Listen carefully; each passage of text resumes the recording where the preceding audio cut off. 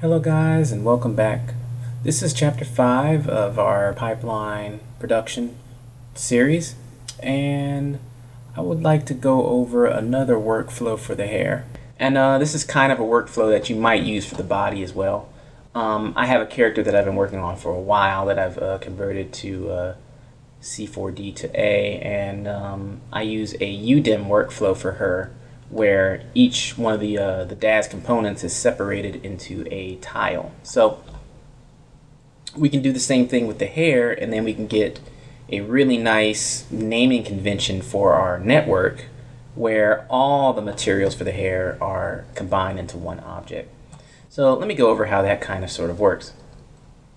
So right now we have the hair strands and the skull cap separated. So what we can do is we can actually get rid of the skull cap and we can call this uh, test a hair material instead.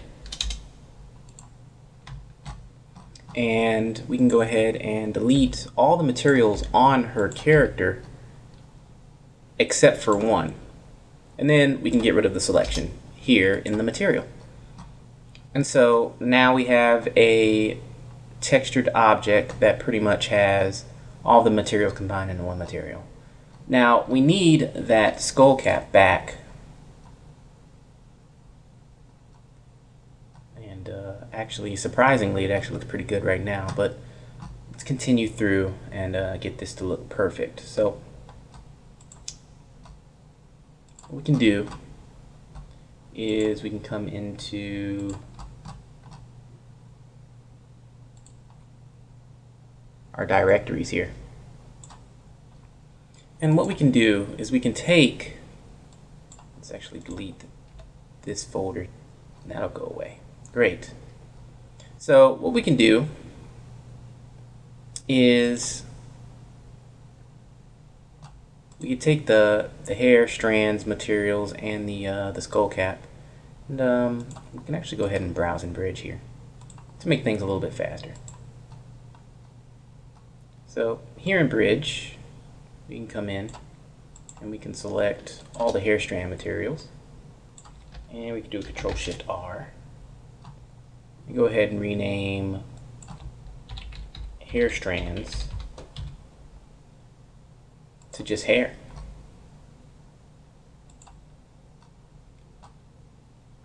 And then using a Mari based workflow, Arnold is a since it's used by production uh, companies, they are uh, they're pretty up on a lot of the uh, a lot of the different uh, nomenclature for Mudbox and Mari and ZBrush and different things like that. And so Arnold has developed directly into the renderer of uh, a strong workflow that allows you to work with uh, objects like that. So actually, these don't look like they got renamed. Let's go ahead and try this one more time.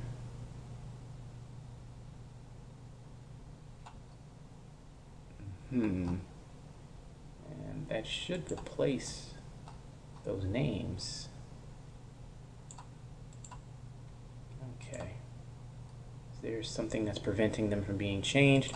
Ah, it's because Arnold is running. So Arnold locks your textures down while it's um, while it's operating. So if you turn them off and then you go ahead and flush the uh, Arnold caches, that'll kind of sort of unlock those textures and you'll be able to actually resave them and edit them and do different things with them. So now if we do a Control Shift R and then we go ahead and replace hair strands with hair, we're gonna have a nice renaming here. So that's great. And so what we can do is using um, a UDIM workflow, um, we can go ahead and name these textures in such a way that we specify that the hair strands are on one tile and the hair skull cap is on another tile. So the first tile um, in a Mari based workflow is 1001. So if we go ahead and specify that the hair strands are in the first UV tile,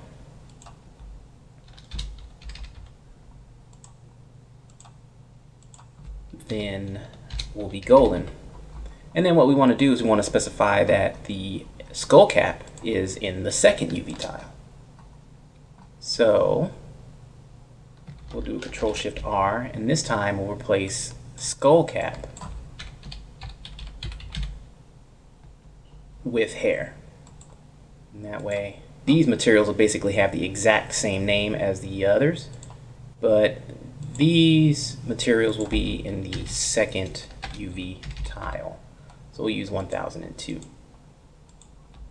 And in Mari, um, your tiles um, go up to 1009 and then 1010 I believe is the next uh, UV tile up.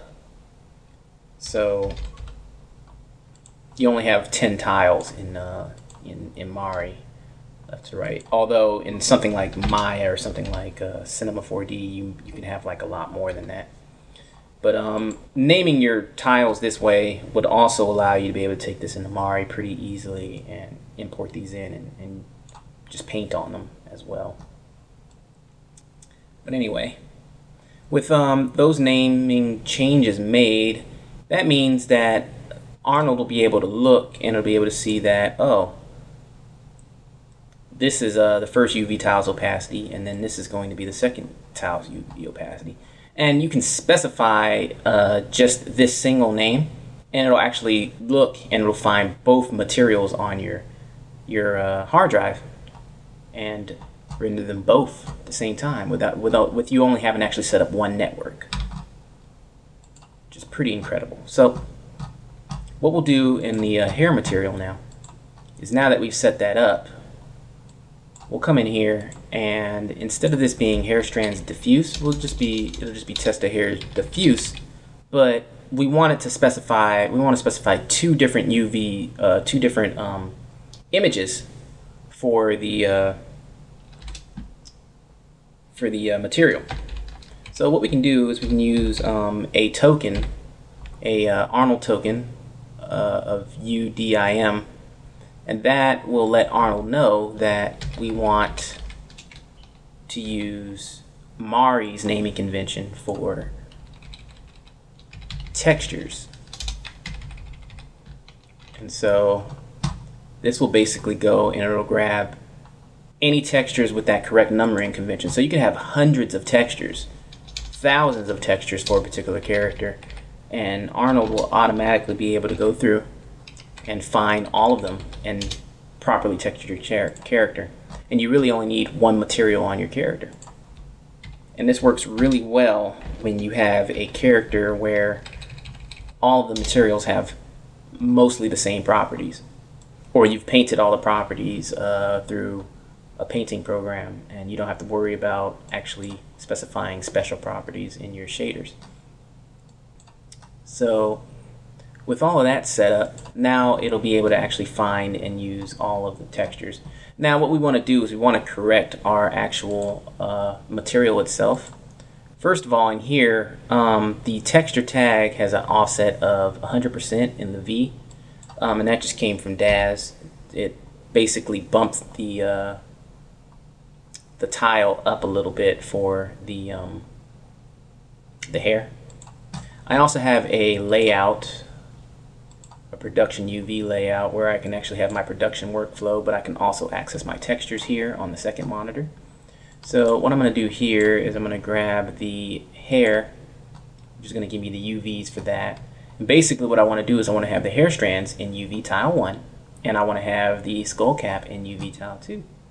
So all I'm going to do is just grab the skull cap, and I'm just going to move it over one tile. Hit apply. And now I've got the hair strands in the correct UV and I've got the skull cap in the correct UV. And so, if I were to render this now, after I hit save, we should have the correct um, look here in the viewport, but we are only using one material and we're taking advantage of multiple tiles on that, that model. This is actually quite a nice way to work, especially considering that this particular uh, object does happen to have two separate components in one polygon object. So this is a really great way to actually kind of sort of work with the hair. Um, this also works really well, once again, with the body, especially um, if you looked at one of my earlier tutorial, tutorials where I actually split the character up into multiple UV tiles. Um, this workflow would be a great way to work with a character where it's split up like that. Um, and it looks like our render failed. So let's hit Shift C and let's open up the console and see exactly what happened to our render here. Could not read tile 00 with index 101, file name hair strands. Alright, so we just didn't change the file name correctly. So let's come in here. We did that for this. Um, for this, we did okay. That we did okay. The bump, we didn't change the name for the bump. So let's go ahead and do that. And let's try to re-render. And there we go.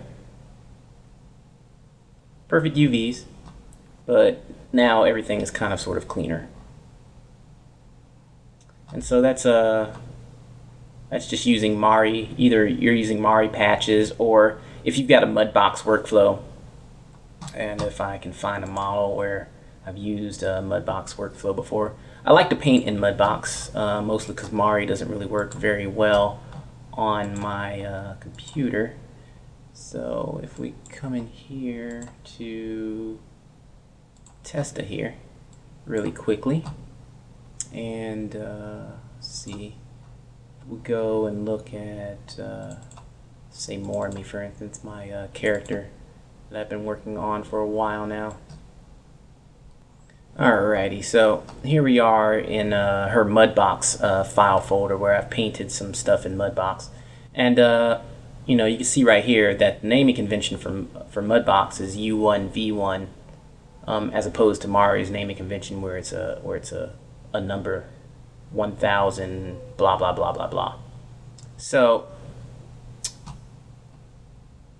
Arnold has a numbering convention, as, uh, a token as well for uh, being able to do that with uh, Mudbox files. If we go here to our Arnold help and we go to the user guide,